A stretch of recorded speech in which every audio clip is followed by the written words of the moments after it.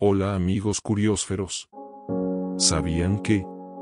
Las cigüeñas construyen nidos masivos que a menudo son reutilizados año tras año. Algunos de estos nidos pueden alcanzar tamaños impresionantes, llegando a medir hasta 3 metros de diámetro y pesar más de una tonelada.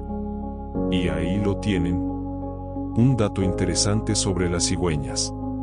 Espera nuestro próximo video.